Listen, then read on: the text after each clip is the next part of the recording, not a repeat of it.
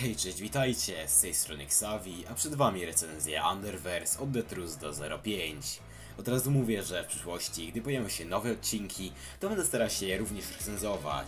Dlatego nie będę już dłużej przynudzał. Możecie zostawić suba, łapkę w górę i zapraszam was do oglądania.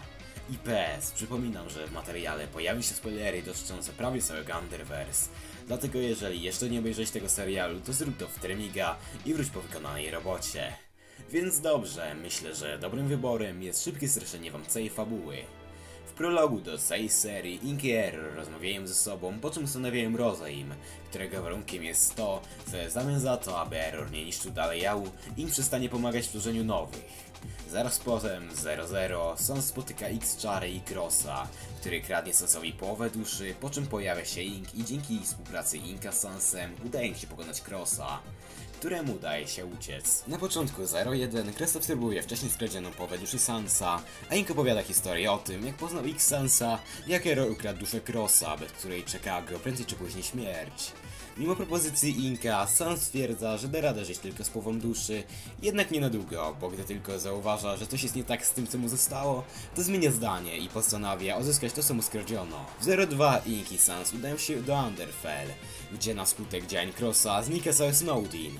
Rozpoczyna się walkę pomiędzy protagonistami a Crossem, pod koniec której, gdy Fel miał dobyć Crossa, ten ucieka. W 03 Part 1 Sans teleportuje się do domu i za namową X-Czary usypia. Niestety okazuje się, że to tylko był podstęp, który miał dać czarze możliwość na przejęcie ich ciała. Cross instynktownie używa ataku, którym nokautuje czarę. Po zajściu pojawia się Nightmare, który grozi Crossowi i zabiera go do Underswap, w którym rozpoczyna demolkę. Pojawia się Sans i Fel, po czym razem z innymi pokonują szalejącego Crossa.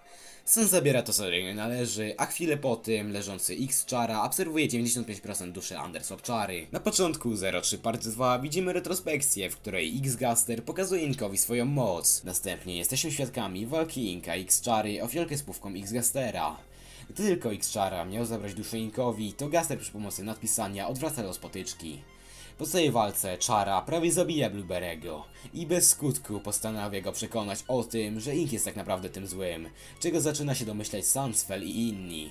Jakiś czas później Papyrus jako jedyny pozostaje w Underswap, natomiast Blueberry, Sans i Fell zostają przeniesieni do Outer Tail, a Ink do X-Tail. Do tego Error dowiaduje się od Fresha o X-Tail i cieszy się, że dłużej nie musi przestrzegać zasad rozejmu. Na początku 04, według rozkazu X-Gastera, asystentka rozpoczyna nakładanie kwarantanny na U dotknięte przez X-Event. Ze względu na to, że stał tam tylko Papyrus, to w Underswap obyło się bez większych problemów. Jednak w Underfell potwory postanowiły zaatakować Alphys, co skończyło się dla nich śmiercią z ręki X-Metatona. Dowiadujemy się o tym, że X-Chara dał się wykorzystać Nightmare'owi oraz jesteśmy świadkami krótkiej rozmowy Fela, Sansa i Blueberry'ego. Chwilę później Sans spotyka Utera i po krótkiej rozmowie rozpoczynają się poszukiwania Inka.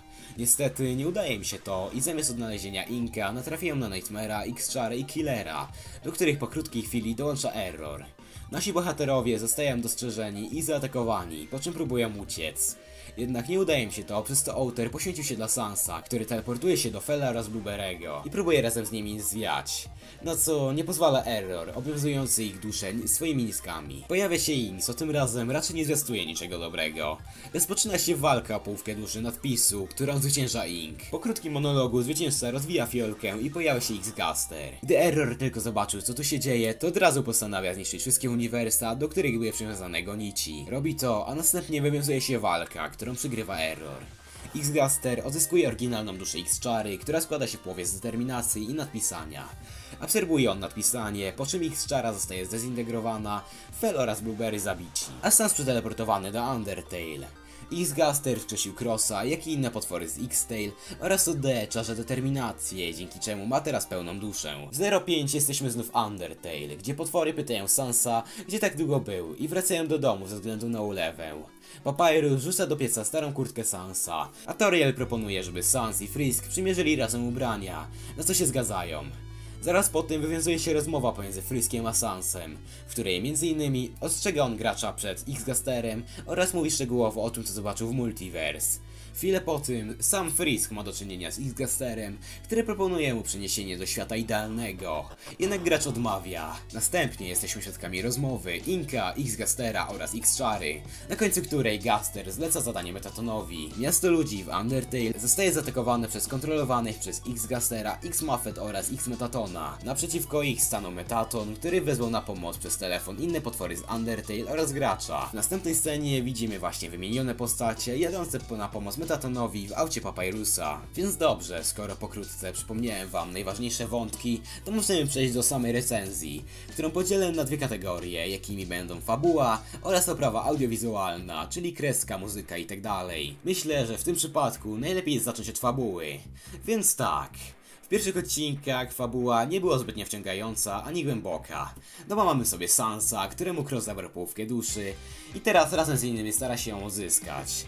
Według mnie ciekawie zaczyna się robić dopiero gdzieś w środku 02, ponieważ doświadczyliśmy już wtedy troszkę akcji w formie walki pomiędzy naszymi protagonistami a Crossem, jak i chodziliśmy już powoli wątek z Gastera, o którym wiedzieliśmy tylko tyle, że rozmawiał ze zwykłym Gasterem oraz że Cross zaniepokoił się, gdy o nim usłyszał. Jednak to dopiero w 03 akcja zaczyna nabierać tempa. Tak naprawdę mniej więcej od tamtego momentu pojawia się coraz więcej zagadek, tajemnic i wątków, co sprawia, że wszystko było po prostu przyjemne w odbiorze. Dlatego jeśli chodzi o fabułę, to na duży plus zasługuje wcześniej wspomniana dynamika historii oraz to, że mimo wręcz chamskiego w innych produkcjach bicia nas różnymi sensami po głowach, to tutaj mimo tego, że tak z 90% postaci to sans, tylko z innych AU czy AT, to postacie były przedstawione bardzo dobrze i na pewno niepowtarzalnie. Chociażby takie charaktery jak X-Gaster, Fell, Nightmare czy też Ink, do którego zresztą zaraz sobie przyjdziemy, zostały przedstawione wręcz wzorowo. Jedną z rzeczy, przez które bardzo doceniam Underverse, jest cały wątek Inka, ponieważ według mnie twórca przedstawił go najlepiej z wszystkich postaci, co niekoniecznie oznacza, że jest moją ulubioną. Po pierwsze, budowanie jego wątku przez całą serię bardzo mi się spodobało, ponieważ z czasem dostawaliśmy coraz więcej wskazówek, że jednak nie ma on dobrych zamiarów. I tak zastanawialiśmy się, czy jest on dobry, czy nie, aż do momentu, gdy na własne oczy zobaczyliśmy, jak samolubnie i arogancko się zachował, zdradzając naszych bohaterów tylko dlatego, że dzięki X-Gasterowi mógł w nieskończoność się nie nudzić. Przechodząc już sobie płynnie do oprawy audiowizualnej, to praktycznie zawsze muzyka jest dopasowana do tego, co dzieje się na ekranie. W oprawie wizualnej bardzo doceniam to, że mniej więcej od 03 każdy, ale to każdy, nawet najmniejszy szczegół, nie zostaje zapomniany. A to, na co najczęściej skupiamy uwagę, czyli twarze, tło i tak dalej, jest po prostu piękne. Więc dobrze, myślę, że to już na tyle. Generalnie to w tym utworze fabułę, jak i oprawę audiowizualną oceniam na 9 w skali do 10, co w ostateczności, jak możecie się domyślić, daje końcowy wynik 9 na 10. Jeżeli spodobał Wam się materiał, to możecie zostawić łapkę w górę, suba oraz możecie się podzielić swoją opinią na temat Underverse w komentarzu. Dlatego dziękuję Wam za oglądanie i bajo! Życzę Wam miłego wieczoru, nocy czy kiedy to tam oglądacie. Ale dobra, już nie, nie, nie przedłużam. Czas na utro. Nara.